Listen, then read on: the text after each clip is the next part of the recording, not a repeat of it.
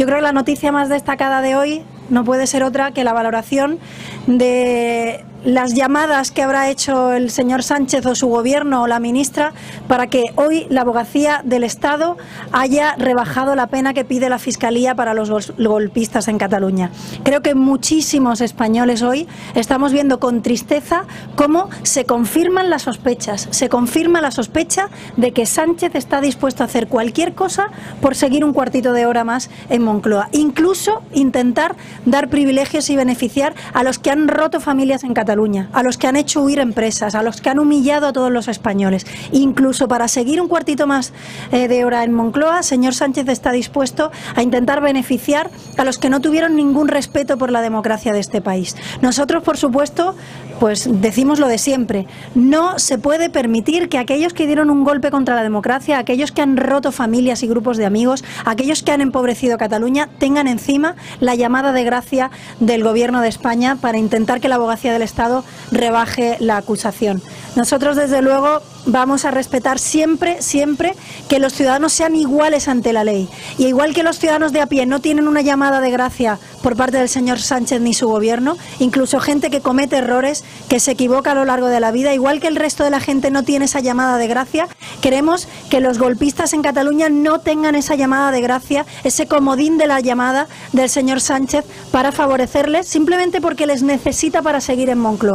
Es increíble ver y comprobar cómo hace solo unos meses el señor Sánchez decía alto y claro que sí que había habido rebelión y ahora le ves diciendo que no, que rebelión no ha habido y los hechos demuestran que incluso la abogacía del Estado ha tenido que hacer caso a lo que decía su ministra y el señor Sánchez para intentar rebajar la pena. Yo le digo que no hay llamada posible para salvar a aquellos que han roto familias y han roto grupos de amigos y han roto la convivencia y la democracia en Cataluña. Y desde luego lo que no vamos a permitir es que, además de intentarles beneficiar ya en el procedimiento judicial, no se vaya a producir lo que todos nos tememos, que es que les vayan a indultar. Y para que no se les pueda indultar, hoy mismo hemos registrado en el Congreso de los Diputados una propuesta para que se prohíban los indultos a aquellos que dieron un golpe contra la democracia en Cataluña el año pasado. Y vamos a ver qué vota el señor Sánchez, porque con esta propuesta nuestra el señor Sánchez ya no va a poder seguir escondiéndose,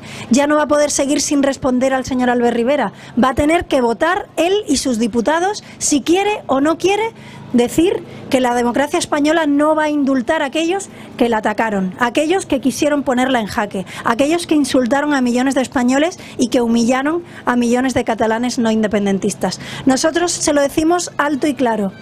Nosotros jamás vamos a participar en ningún privilegio a los, a los catalanes golpistas que dieron un golpe de Estado, ni vamos a participar jamás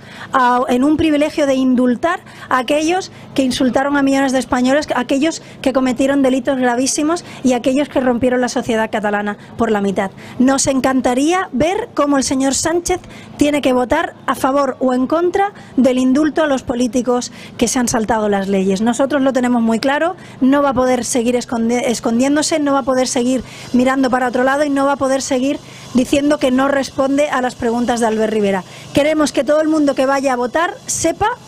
que no se pueden dar privilegios a aquellos que han insultado, entre otros, a los andaluces. Y a los que dicen que los andaluces roban a los catalanes, no se les puede dar un, indulto después de las humillaciones y de las barbaridades que han hecho. Pero insisto, por suerte Ciudadanos tiene una voz importante en el Congreso, por suerte vamos a poder presentar estas iniciativas y creo sinceramente que por suerte vamos a poder dar un cambio en Andalucía, porque desde luego las andaluces no se merecen que los socios de Sánchez vayan diciendo que la culpa de los recortes en sanidad o en educación son de los andaluces o de los murcianos o de los extremeños. No lo permitimos en Cataluña y ganamos las elecciones, no lo vamos a permitir en el Congreso de los Diputados y desde luego no lo vamos a permitir cuando el señor Juan Marín sea el presidente de la Junta de Andalucía después del 2 de diciembre de este año. Muchísimas gracias.